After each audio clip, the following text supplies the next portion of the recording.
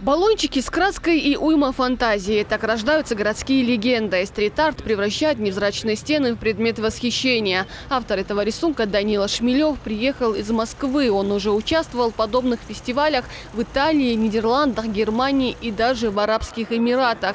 Создавать изображения таких масштабов для него привычное дело. Тут будет две чашки чая.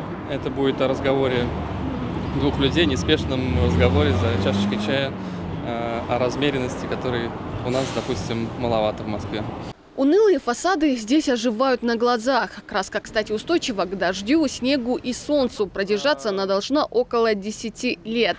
На этом фестивале профи стрит-арта создают композиции именно в национальной стилистике. Здесь вам и колоритная домашняя утварь, и горянка с кувшином на всю девятиэтажку. Ну, это меняет облик и восприятие вообще города.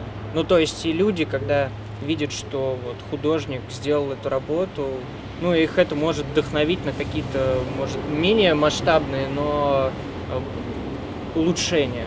В этом году вместо привычного холста пробуют фасады зданий дагестанский художник Андрей Калугин. В прошлом году он участвовал в этом фестивале в качестве ассистента. Сейчас же уже представит собственную работу. В этой работе я хотел показать, как бы женщина – это начало, она дает жизнь, она держит в руках цветы, вокруг нее птицы, все живое.